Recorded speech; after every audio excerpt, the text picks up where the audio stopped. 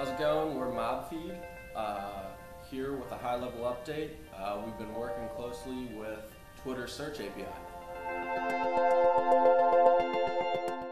We've also been getting to know each other and bonding as well. What we plan to do is develop our own unique palette of images and emojis that serve as a template we'll use in illustrating the trends in user data. So we'll use this palette to generate live illustrations of the Twitter feed data for every search that uh, our user will be inputting using our software. So we'll be uh, identifying the emotions and opinions illustrated in each trait using our own, our own code. So for the technology that we'll be using on our project, first of all, we've developed a website uh, just using github.io Secondly, we've developed a Twitter app and have received our OAuth uh, authentication keys. So that gives us access to be able to uh, query the Twitter search API. Using Twitter search API, uh, we can query um, and the Twitter API is very useful because it can spit out information in a .json format. Our goal is for our code to be able to rip off JSON files from tweets, parse those tweets by looking at the words and images used in the individual tweets and match them with word association,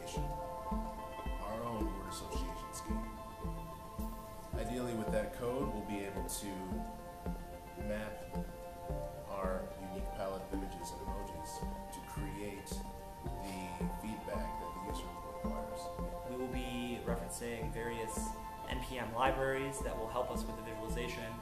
Say if we wanted to uh, use a uh, bar graph, we might use Google Charts, and the NPM uh, libraries will be helpful in using that. Um, and finally, we will have an array of emojis. We're still workshopping how exactly we want to visualize that, but conceptually we know that we We'll have a bank of emojis that we will website to visualize uh, sentiment analysis.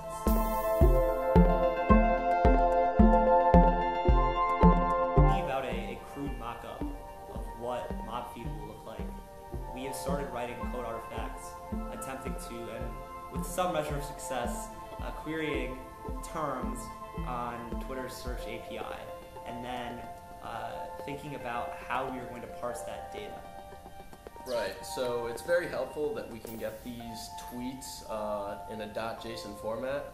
Um, so similarly to our like MIT website uh, pset, we're going to need to parse these tweets, get the useful information out of them, and then visualize them in some uh, representation, whether emojis or otherwise, on our website so that the user has direct feedback.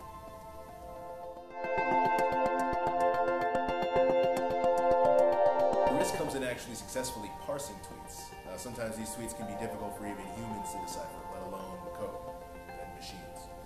For example, if I tweet the McDonald's McRib, or is coming back, or if I search for McRib, you know, somebody might have a puke emoji um, and talk about their excitement while, you know, having a carrot stick um, and a emoji with sunglasses. So it can be very difficult to decipher they actually think and feel. And so that is one of our main challenges in getting this code to work optimally.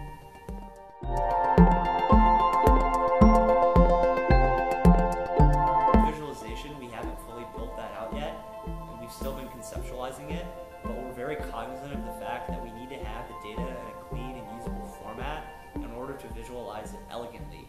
And so in terms of uh, the mock-up, this is just a mock-up, right? This is not something that we've successfully done yet, or else be done with the project. Um, but we hope to be able to uh, take data from, say, 500 tweets about a, a queried term, and then generate uh, a very clever array of emojis that can, to some degree of accuracy, uh, represent the sentiment of the Twitter populace.